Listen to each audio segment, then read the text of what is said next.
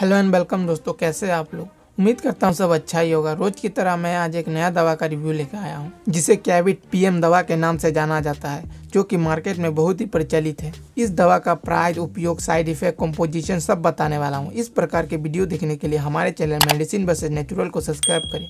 तो चलिए दोस्तों, वीडियो को शुरू करते हैं। इस दवा को कैचेट कंपनी द्वारा बनाई जाती है, जो कि एक बहुत फ़ेमस कंपनी है। इस दवा के प्राइस की बात करें तो दो सौ में एक स्टिप आती है, जिसमें पंद्रह टेबलेट रहते हैं, जो कि समय के अनुसार घटते बढ़ते रहते हैं। यह दवा आपको कोई भी लोकल केमिस्ट की दुकान में आसानी से मिल जाएँगे। कैबिट पीएम दवा की कंपोजिशन की बात करें तो इसमें मेनली चार कंपोजिशन पाए जाते हैं। पहला आइसोफ्लाइमेट 50 M calcium 500 M magnesium 90 M vitamin D three दो एम पाए जाते हैं। तो चलिए दोस्तों, अब देखते हैं इस दवा का उपयोग किन किन परिस्थितियों में किया जाता है। इस दवा का उपयोग मेनली महिलाओं में मासिक धर्म को ठीक करने के लिए किया जाता है। यह दवा शरीर में कैल्शियम को भी पूरा करता है और विटामिन डी थ्री की कमी को भी पूरा करता है।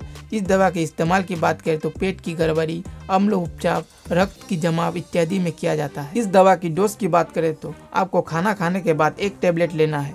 लेकिन आपके डॉक्टर आपको जैसे बोले वैसे ही लेना है। तो चलिए दोस्तों, अब देखते हैं इस दवा का दुष्प्रभाव क्या क्या है। कैबिट पीएम टेबलेट की दुष्प्रभाव, कब्ज होना, पेट दर्द, भूख में कमी, अधिक प्यास लगना, सांस लेने में तकलीफ़, छाती में जलन इत्यादि शामिल है। इस दवा का दुष्प्रभाव इलाज के बाद जल्द ही समाप्त हो जाती है। हालाँकि यह समस्या लंबे समय तक बनी रहती है तो तुरंत अपने डॉक्टर से संपर्क करें।